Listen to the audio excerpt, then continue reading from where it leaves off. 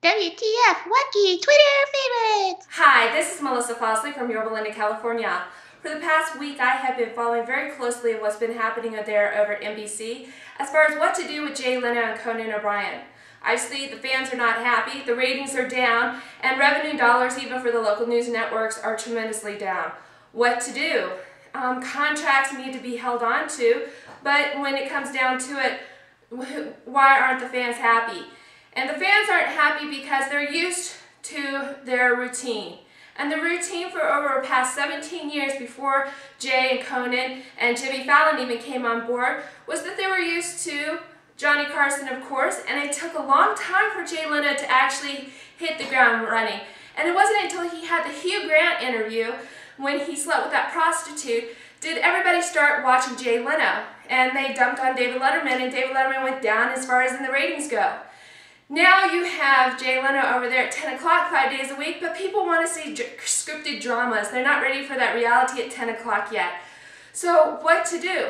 Well, so far from what I can tell and deduct from the many sources that I see on the internet today, it seems that they want to move Jay Leno right after the local news for 30 minutes and push Conan O'Brien to the 1205 slot with the Tonight Show franchise name still intact.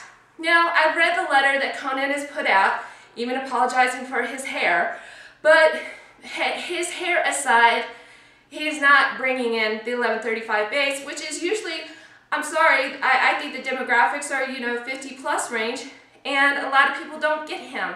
Uh, I know there is a lot of very loyal Team Conan fans there on Twitter and making him the trending topic along with Jay Leno. And a lot of things have been going back and forth as far as this goes. Now, over on Twitter today, I've been following the tweets very closely, and I can say a lot of people are very upset at NBC. Let's go over here, shall we? Watergate Summer. Nobody puts Conan in the corner. Team Conan, NBC sucks. Marty Markins says, I should also mention that I once found Leno to be very funny. Early on, I actually met him once and a very nice guy. And one guy, Dustin Faber, says, Yo, Leno, I'm really happy for you, and I'm going to let you finish, but Kanye had the best interruption of someone else's spotlight of all time. Beans are done. Hey, Leno, you quit the Tonight Show. Stop making people feel sorry for you by saying you were canceled. So, the, uh, and then one other one that I like over here is Chris Faulkner saying, I predict that we will, as a nation, move from a red and blue states to Leno and Conan states. So there's this really great diversity going on over at Twitter right now as far as if you're a Jay Leno fan or are you a Conan O'Brien fan.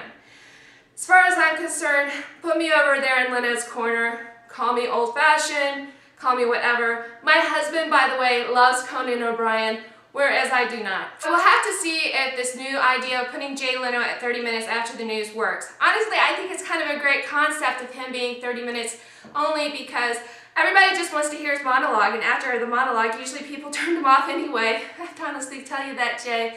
You know, people hardly stood around for the musical guest at the last five minutes of the show. Now, like I said, who am I voting for?